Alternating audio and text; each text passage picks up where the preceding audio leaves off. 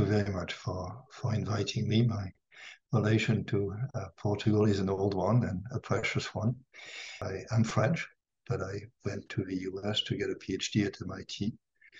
Uh, and most of my professional life has been uh, at MIT. I was a professor at MIT for a very long time, uh, from basically the late 1970s uh, to 2008. In 2008, I was asked, uh, I was offered the position of chief economist of the IMF. Uh, I went uh, before knowing that there would be a financial crisis. I arrived just at the start of it, and so uh, the work was was definitely uh, interesting. and I stayed there from 2008 to 2015 at which point I had to decide whether to go back to academia or stay in Washington. And I decided that given my interest in policy, I would join a think tank. And I joined the Peterson Institute for International Economics, which I think is a great think tank. And I've been there uh, ever since.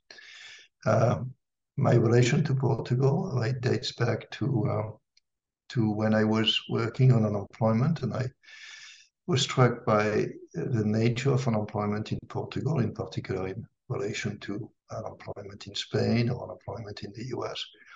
And I was uh, blessed um, to uh, be able to work with Pedro Portugal, who seemed to know uh, every single individual history uh, in uh, in Portugal. He had access and he had put together this incredible data set. So we wrote a number of papers together. And uh, that made me very much interested in, in, in Portugal and I was very happy to join uh, PEJ, uh, which I think has done has done very well and is writing uh, is producing uh, good good papers. So I was happy to do my share. I did it uh, um, a bit more at the beginning, then I stayed for I think 20 years on it, but I was not very active, and I've decided it's it's time to uh, you know give responsibilities to to others. So you asked me about the future of macroeconomics, which is understanding the behavior of, of aggregates. Uh, and uh, it has a bright future because there are a lot of interesting questions and we have more and more data sets uh, to answer them. There is kind of a nearly philosophical question, which is can you actually understand the economy by looking uh, at aggregates? And uh, I think one of the lessons of a global financial crisis is in some cases you actually have to go far beyond aggregates. You have to go to the granular level because what mattered in the financial crisis was not any aggregate. It was, you know, who did Lehman owe money to, who was owing money to Lehman. And you have to have a level of understanding at that level to understand the financial sector. So there's a bit of a tension. Uh, looking at aggregates may not get you um, the information you desperately need sometimes. The other thing, which is characterizing macro at this stage, is uh, you know the influence of I would say Ed Prescott, uh, which is the RBC or real business cycle theory. The idea that you have to start from micro foundations and you have to stick with it. And I have very mixed views. Uh, on the one hand, it's clear that micro foundations are, are, are useful. Whether we can get uh, reliable micro foundations or pretend micro foundations, I think is an open issue. The issue of aggregation of decisions.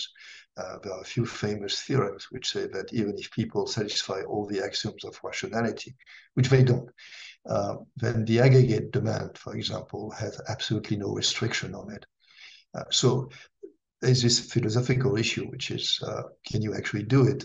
What is often done is kind of reverse engineering, going back from some relation which seems stable to the kind of assumptions which would generate it, which I think is pseudoscience to a large extent. Uh, but at the same time, it has, compared to when I was a student, uh, created more integration of micro theory and macro theory, which is probably good. We just have to find the right mix. I think we are all struggling with it. I mean, I try to be very much consistent with micro foundations in what I think, what I write, uh, but I don't try to necessarily start from you know some individual equation. I think aggregation is a big issue. Uh, I think we're still struggling with this. So one of the incarnations uh, is a so-called DSGE, or Dynamic Stochastic General Equilibrium model. And they are ugly beasts, and they are in a way wrong in assumptions, and very hard, very black boxy, very hard to understand exactly why they generate what they generate. There is not enough partial equilibrium work, which allows you to understand some part of the economy better. So we're still struggling with it. It may uh, it's now a, nearly a 50-year struggle. Uh, it may be another uh, few uh, few decades before we actually emerge from with a consensus. Uh, it's a very exciting field. Uh, again, the questions are fascinating, and, and, and I think in many cases we're not far from having some answers again, I think there are many dimensions. Uh, the, the, question is about the effect of AI on on on uh, on labor markets and and people. Uh, first thing is AI uh, may actually increase productivity so much that we all need to work less uh, than we would otherwise, uh, which would be good. We would have more time for leisure. I mean, the you know the extreme cliche is we all stay home and the robots do everything. We will not get there, but we probably going to go in that direction. So I would expect that the uh, hours of work per week will, at least in advanced economies, uh, continue to, to decrease. That's good news. The bad news is the distributional one, which is uh, is it going to eliminate kind of a least skilled jobs, um, uh, and the people who have those jobs and have limited skills uh, will not be able to get any job. In which case, we would have to consider some kind of universal income or something like this. And I think we don't know the answer to this. It's clear that AI can substitute or can complement uh, those skills. I, you know, take an example in medicine. Uh, you can think of AI uh, allowing nurses to actually do the job of doctors, or a good part of the job of doctors, which would be very good for nurses, not so good for doctors, but you know, doctors are at the top of the scale, so it would be good. Or it could be that they just displace uh, nurses, in which case it would be an issue. And you have that kind of issue all along the, uh, the, the, skill ladder. Uh, one policy question is whether we can help, especially for technologies at the low end of, uh, of a skill ladder? Can we basically make them make the research about AI be directed to jobs to AI which complements uh, low skill workers, such as, for example, you know, making it easier for cashiers in supermarkets to do what they do without replacing them, or to replace them. And there the question on which people like Dani Rodrik or Daron Acemoglu and others have worked is can we actually give incentives uh, for research to go in the right direction? And there, I think there are, there are big issues, which is uh, how do we define the direction? What kind of incentives do we give?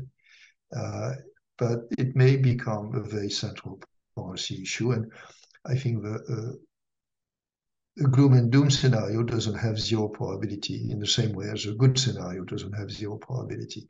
Uh, but we'll have to kind of monitor this very, very, very closely. What advice would I give to somebody who is starting a PhD in 2023? I think it's the same advice I would have given uh, in, in, in uh, 1970, which is uh, accept that you have to learn a lot of techniques uh, because economics and econometrics uh, in general has become uh, much more technical. And these techniques are useful, but don't be obsessed by them. Uh, the idea is to master them and then be creative. Never write a paper because somebody else has written a paper and there's something more that you can do with it. You may have no choice that once in a while writing a paper like this, but you should always be what is happening in the world, what is an issue that is absolutely central, in which you know uh, you think the research hasn't gone where it should, and again work on this. It's hard. Um, in terms of the job market, you will need to show that you dominate the techniques, but it should really be at the service of, of an interesting question.